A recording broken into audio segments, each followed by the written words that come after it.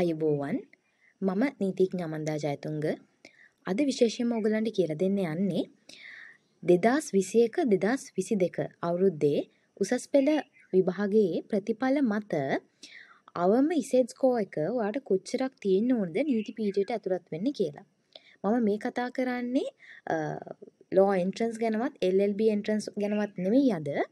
ඔයා advance level වලින් ඕනෑම විෂය ධාරාවක් කරලා මේ නීතිපීඨයට තියෙන ඉසෙඩ් ස්කෝර් එකට උඩ ඉසෙඩ් ස්කෝර් එකක් ගත්තොත් අපි සාමාන්‍යයෙන් කතා කරමු කොයි තරම් විතර ඉසෙඩ් ස්කෝර් එකක් ඔයාට ඕනේද නීතිපීඨයට යන්න කියලා. ලංකාව ගත්තොත් ලංකාවේ නීතිපීඨ තුනක් තියෙනවා. එකක් තමයි කොළඹ විශ්වවිද්‍යාලය. ඉසෙඩ් ස්කෝර් එක සාමාන්‍යයෙන් වැඩිම තියෙන්නේ කොළඹ විශ්වවිද්‍යාලයට. දෙවෙනි එක තමයි ඉසෙඩ් ස්කෝර් එක පේරාදෙණිය විශ්වවිද්‍යාලයට. තුන්වෙනි ඉසෙඩ් ස්කෝර් එක කියන්නේ සාමාන්‍යයෙන් යාපන විශ්වවිද්‍යාලයට.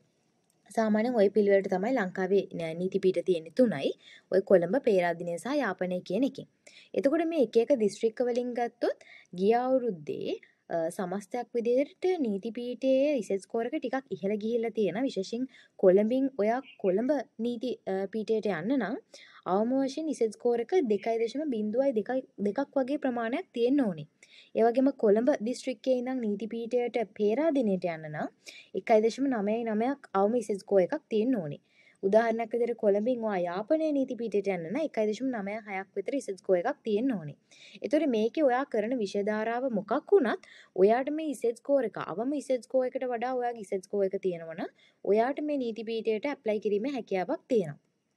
විශේෂයෙන්ම කොළඹ ගම්පහ කළුතර මාතර ඔයගලන්ට මම මේ ෂෙයා කරලා තියෙන එකේ පේනවා පිළිවෙලට රත්නපුර දිස්ත්‍රික්කය දක්වා කොළඹ ඉඳන් රත්නපුර දක්වා පහළට යන විදියට මේ නීති පීඨ තුනටම ළමයින්ට ඇප්ලයි කරන්න පුළුවන් විදිහට හදලා තියෙනවා.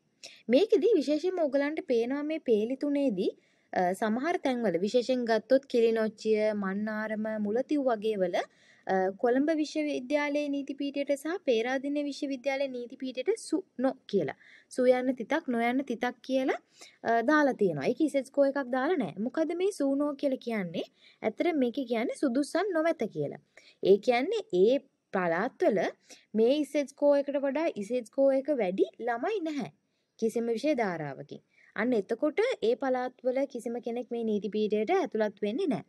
ඒකෙදී ඇත්තටම කිව්වොත් මේකේ මෙහෙම කියලා තියෙන 1 2 3 කියලා දාලා අදාළ පාඨමාලාව සඳහා වූ අදාළ දිස්ත්‍රික්කයේ નિયમિત පංගු ප්‍රමාණය එම දිස්ත්‍රික්කයෙහි සිසුන්ගෙන් දැනටමත් සම්පූර්ණ වී තිබීම අදාළ විෂයෙහි විශ්වවිද්‍යාලයෙහි අදාළ පාඨමාලාව සඳහා નિયમિત ස්ථාන සංඛ්‍යාව දැනටමත් වෙනත් දිස්ත්‍රික්කයන්හි ඉහළ ඉසේදාගයන් ලබාගත් සිසුන්ගෙන් සම්පූර්ණ වී තිබීම අදාළ දිස්ත්‍රික්කයේ කිසිදු අපේක්ෂකයෙකු අදාළ පාඨමාලාවට තේරී පත්වීම සඳහා අවම සුදුසුකම් සපුරා නොතිබීම.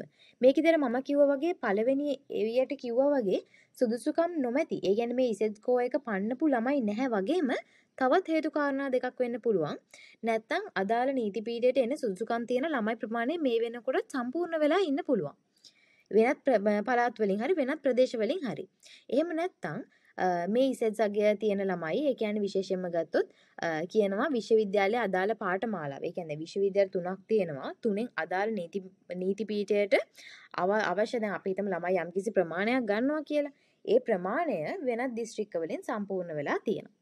එතකොට මේ විදිහට ගත්තොත් දැන් ඕගලන්ට පේනවා දැන් මේ පාර ඒ කියන්නේ 2022 23 කියන උසස් පෙළ ප්‍රතිඵල මේ වෙනකොට නිකුත් වෙලා නැහැ. දැන් විභාගය ඉවර වෙන්න ළඟයි.